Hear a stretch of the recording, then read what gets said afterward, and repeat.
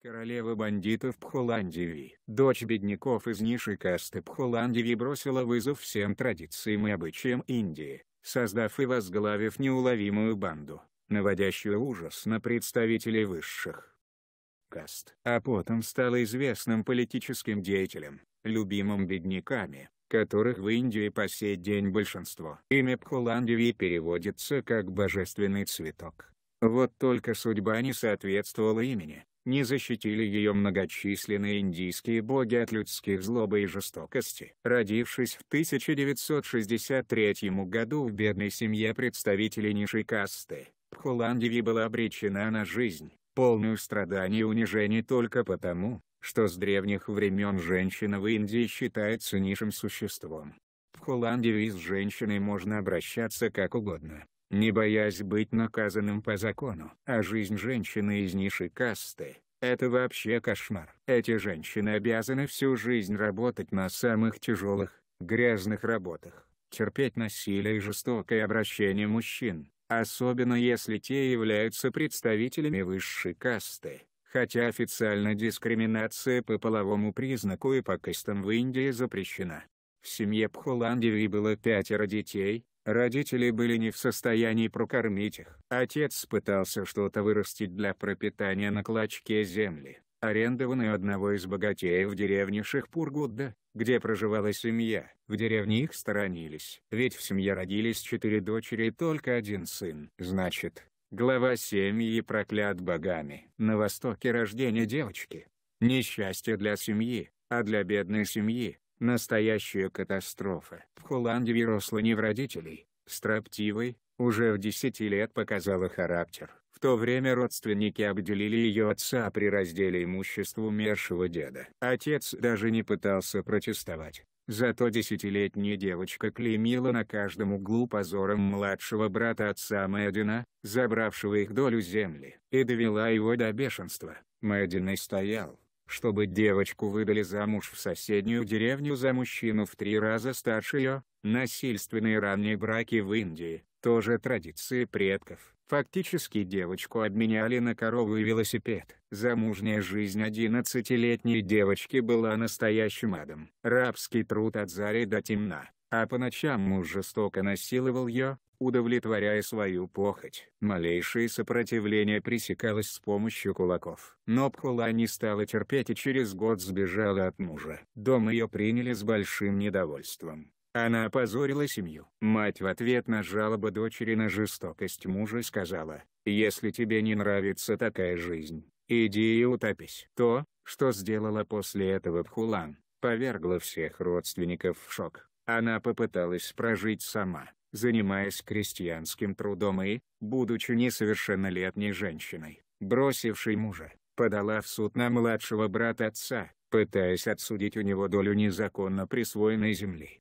Девушка-главаря банды дело слушалось в 1978 году в Верховном суде штата Утар-Прадеш, и Пхоландеви выиграла процесс. А дальше все было так, как в старом добром индийском кино. Взбешенный дядюшка и кузен обвинили Пхолан в воровстве, и ее арестовали. Месяц, проведенный в тюрьме, был адом. Охранники избивали Пхолан и насиловали. Однако до суда дело не дошло, не было доказательств и Пхулан вышла на свободу. Но родственники настроили против нее всю деревню. И опять ее жизнь превратилась в ад. Деревенские мужчины, считая Пхулан проституткой, ведь она от мужа сбежала буквально охотились за ней и ежедневно насиловали, зная, что их никто не накажет. Через две недели Пхулан Диви сбежала из деревни в джунгли. Люди для нее были страшнее диких зверей. Она чудом выжила и считала, что ей помогла богиня Дурга, мать великого Шивы. В джунглях Пхулан встретила шайку бандитов, и снова богиня Дурга хранила ее. Главарь шайки Бабу Гуджар пытался изнасиловать Пхулан, но за нее вступил Викрам Малас, правая рука Гуджара. Викрам застрелил главаря и спас девушку. Они полюбили друг друга. Скоро о них стали слагать песни и легенды. А Викрам между тем учил возлюбленную Пхулан обращаться с оружием. Она оказалась способной ученицей, быстро влилась в банду, принимая участие в налетах. После того как Пхулан рассказала Викраму о своей жизни, Он решил отомстить всем ее обидчикам, и шайка напала на деревню, где жил муж Пхулан. Пхуландеви в окружении своей банды Пхуландеви в окружении своей банды. Мужчину выволокли из дома и жестоко избили, ударив напоследок кинжалом. Бывшие соседи с ужасом смотрели на вооруженную Пхулан, боясь, что она будет мстить и другим мужчинам, тем, кто ее насиловал. Но этого тогда не случилось. Через год шайка Викрама и Пхулан уже контролировала территорию площадью несколько десятков квадратных километров. Они нападали на дома местных богачей, похищали заложников ради выкупа, грабили поезда. По настоянию Пхулан перед каждым налетом бандиты ходили в храм богини Дурги, и удача всегда сопутствовала им. Пхулан пользовалась большим авторитетом в шайке. К ее мнению всегда прислушивались. Но однажды Викрам ослушался свою Пхулан, это стало для него роковым. Королева бандитов банда пополнялась все новыми и новыми участниками. Молву о неуловимом и храбром Викраме разносили люди. И как-то раз к банде примкнул главарь одной из мелких шаек Шри Рам Сингх. Буквально сразу он стал претендовать на лидерство. Между ним и Викрамом началась вражда. Кроме этого, Рам Сингх стал домогаться Пхулан, даже попытался ее изнасиловать, но Викрам спас свою любимую и заставил его просить у нее прощения, приставив к голове обидчика пистолет.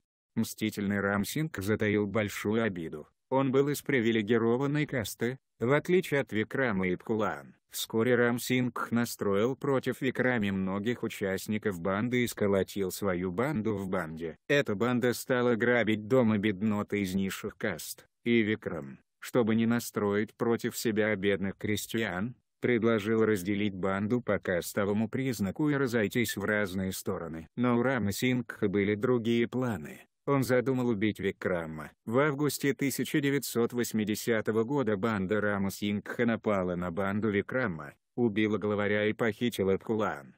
24 дня она была в плену, где постоянно подвергалась сексуальному насилию, побоям и унижением. Но Пхулан смогла убежать, собрала людей из банды Викрама и решила отомстить. 14 февраля 1981 года стал для Индии самым кровавым днем. Только в деревне Бихмай, где проживал Шри Рам Сингх и его брат, начался праздник по случаю свадьбы как внезапно появились люди в полицейской форме под командованием вооруженной молодой женщины. Лоб женщины был перехвачен красной банданой, символом мести. Пхуландеви потребовала выдать ей Рамы Сингха и его брата, но ей сказали, что братьев в деревне нет. Пхула не поверила. Ее боевики стали обыскивать дома, вытаскивали на улицу участников банды. Собрав всех, кто надругался над ней, Пхулан приказала им встать на колени, и каждому достался удар прикладом по голове. Потом пленников повели к реке и там расстреляли. Вскоре на берегу лежали 20 убитых и несколько тяжелораненых. И все они были из высшей касты. Индия была потрясена и одновременно восхищена тем,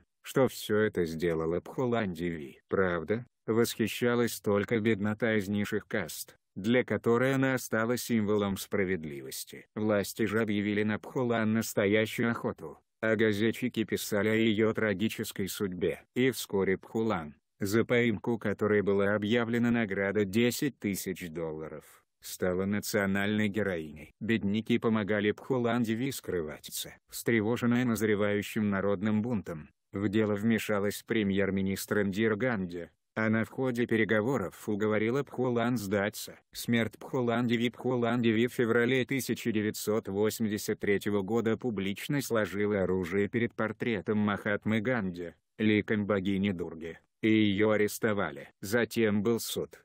11 лет Пхуландеви провела в тюрьме. 11 лет ада с насилием и унижением. Пхуландеви с мужем Малаямом Сингхьядавом Пхуландеви с мужем Малаямом Сингхьядавом. В 1994 году под давлением общественности с Пхуландеви были сняты обвинения, Вскоре она была избрана в Нижнюю палату парламента Индии. В то же время индийский режиссер Шикхар Капур снял фильм «Королева бандитов», прославивший Пхуландеви далеко за пределами Индии. В июле 2001 года Пхуландеви была расстреляна группой вооруженных мужчин в масках на пороге своего дома в Нью-Дели. Тяжело раненая Пхулан была доставлена в ближайшую больницу, где в тот же день скончалась. Киллерам удалось скрыться с места преступления. Спустя некоторое время один из подозреваемых, криминальный авторитет Шер Сингхран, сам сдался полиции. По его словам, не убил Пхулан, желая отомстить за устроенную ей бойню в деревне Бихмай. Уважаемые читатели, помогите увидеть этот пост большему количеству читателей. Ведь если его не лайкают и не пишут комментарии, алгоритм прекратит показы. А мне очень хочется, чтобы то, что мы пишем для вас, до вас доходило. Спасибо. И не забывайте подписываться на наш канал,